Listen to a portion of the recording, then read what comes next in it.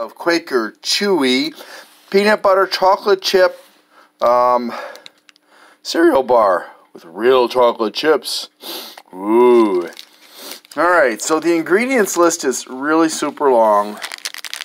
I don't think I'm going to be able to get it so that you can see the whole thing properly, but there it is. And the nutrition facts uh, for one bar right there. Alright, let's go ahead and give this one a try.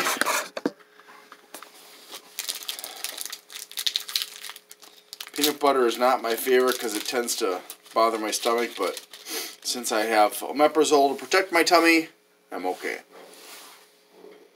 Definitely smells peanut buttery. Mmm.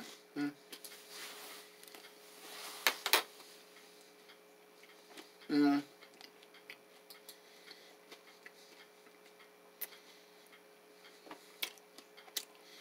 It's really quite a mild peanut butter flavor.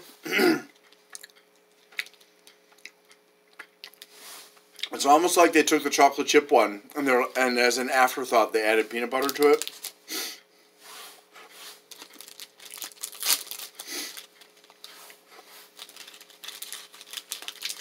So, if you're just looking for a chocolate chip uh, granola bar with uh, some peanut butter in it, for extra flavoring, this is probably a good choice for you. Um, if you're looking for a strong peanut butter flavor, nope. Anyways, thank you very much for watching and have a great day.